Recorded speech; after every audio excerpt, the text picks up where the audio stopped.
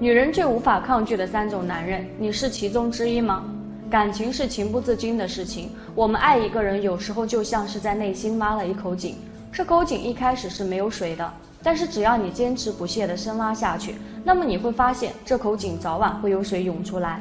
同样的，感情也是如此，一开始我们可能没有缘分，遇不到那个对的人，但是你要相信，你总归会遇到的，这只是暂时的，你要相信这段感情早晚会来。或者说，当缘分降临，你的感情就会开花结果。一般来说，女人最无法抗拒这三种人，你是其中之一吗？一出手阔绰的男人，如果一个男人出手阔绰，那么女人对这种男人没办法抗拒。在感情中，我们需要保持必要的尊重，我们在感情中不能太过抠门或小气。对男人来说，如果你真心爱一个女人，那么请你务必对女人好一点，你要懂得投入，你要舍得花钱。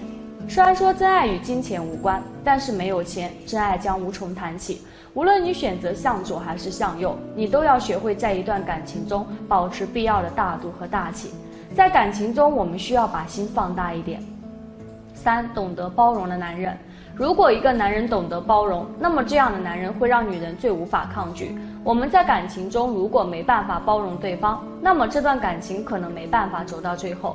一个真正懂得包容女人的男人，他不会对女人特别小气，或者说特别斤斤计较。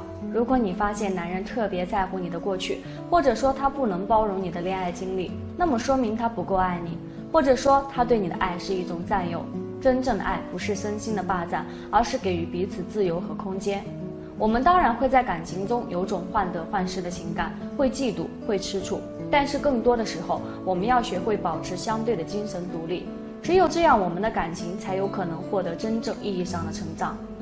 三、幽默外向的男人，一个幽默外向而且懂得自嘲或自黑的男人，会让女人无法抗拒。这世上长得好看的人很多，但有趣的灵魂却很少。所以，对女人来说，如果有一个男人特别幽默，懂得哄她开心，那么她对这样的男人是没办法抗拒的。我们要学会适当克制自己情感中的欲望。有时候，你可以选择逃避，你也可以选择踏出那一小步。但是，你更要知道你真正需要的东西是什么。只有找到你内心真正向往的东西，并为之奋斗，那么我们的人生才会更有意义。